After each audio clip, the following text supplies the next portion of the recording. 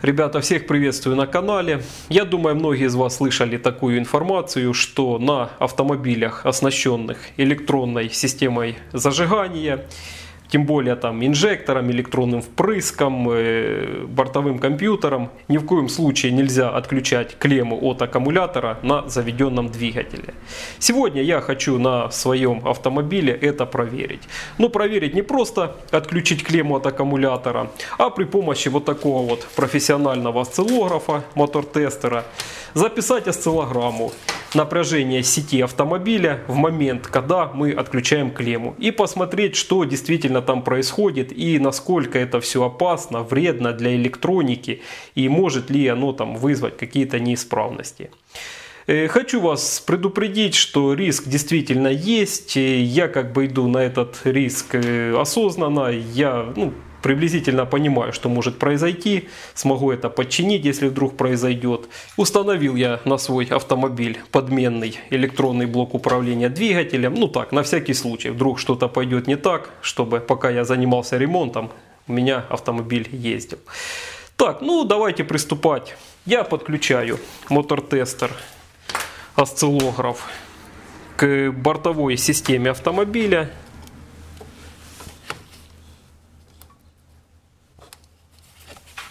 Включаю ноутбук.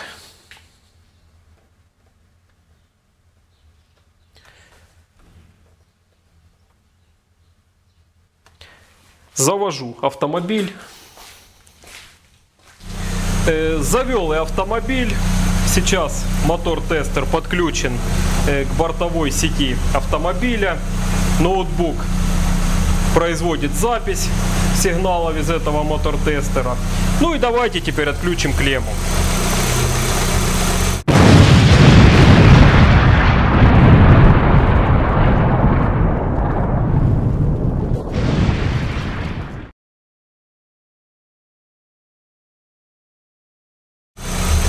Так, отключила клемму. На работе двигателя это никак абсолютно не сказалось. Все как работало, так и работает. Давайте подключим клемму. Далее заглушим сейчас автомобиль и посмотрим на ноутбуке вот это место, где я отключал клемму от аккумулятора. Посмотрим, что будет происходить именно и с питающим напряжением.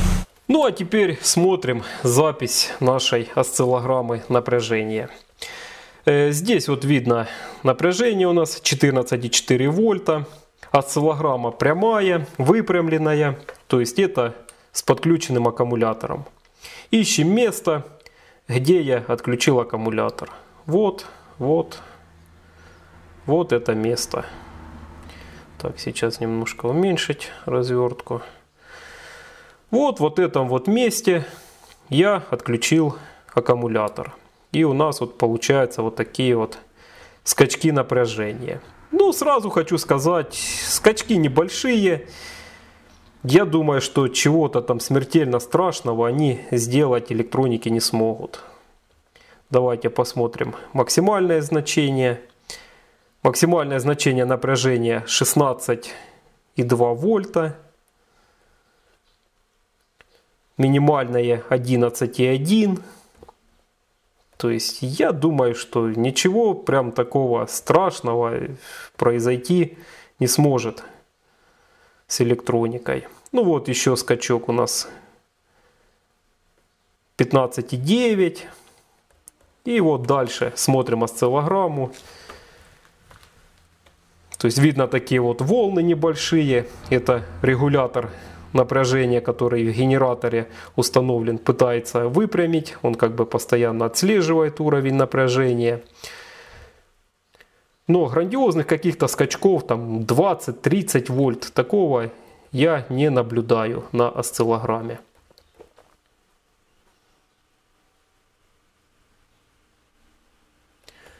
Вот, пролистал я всю практически осциллограмму. Ну, такого критичного, смертельного ничего нету. Все, это уже момент, когда я подключил аккумулятор. Вот я его подключил, отработал наш регулятор напряжения. И дальше уже пошла прямая. Вот 13,7 и сейчас оно напряжение будет подниматься потихонечку до уровня 14,2. Вот такие вот процессы происходят в бортовой сети при отключенном аккумуляторе. Конечно, хорошего здесь ничего нету. Есть вот эти вот э, скачки напряжения, есть там небольшие всплески. Но чего-то смертельного, чего-то ужасного я не увидел. То есть, если там что-то такое произошло, что там отключился аккумулятор, скорее всего, что ничего не произойдет. Ну, как бы лучше, лучше этого остерегаться, лучше так не делать. На этом у меня все. Надеюсь, видео было полезно. Всем спасибо за просмотр и пока-пока.